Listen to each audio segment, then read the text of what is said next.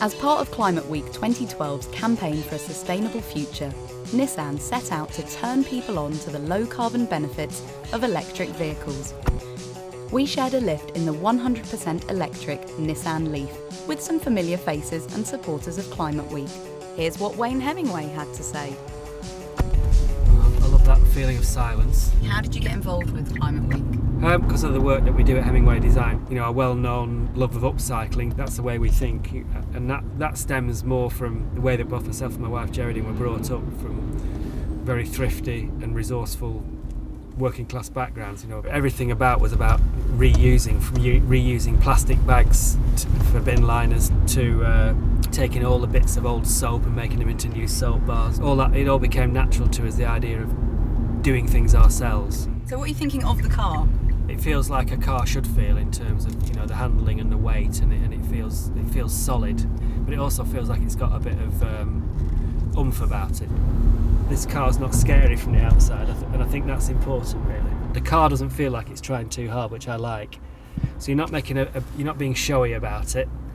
Um, but yet when you get in you know you're in something a little bit different. But it's not so different as you think whoa I can't deal with this. You, you can deal with it because you're driving a you're driving a car you know this is obviously pure electric so you're not using any fossil fuels at all. Nissan are doing like a campaign called the big turn on. So they're hoping this year to turn on people to this idea of electric driving.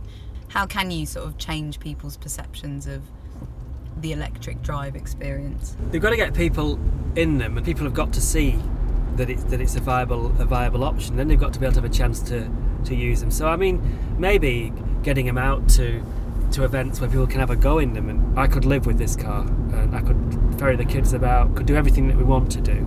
It wouldn't be a hassle you know if you if you go to visit friends you'd stick it on you'd stick it on charge. If you're at the office you'd stick it on charge.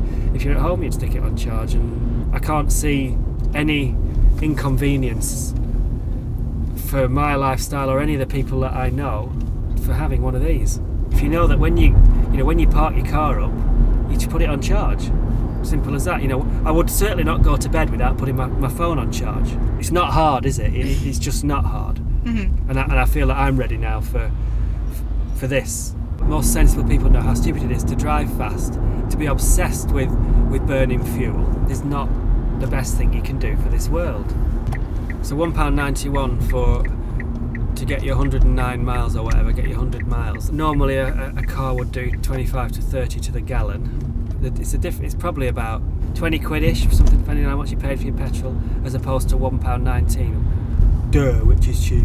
191 still One, 191 oh that changes it. Which is 191 still cheaper than 100 pounds?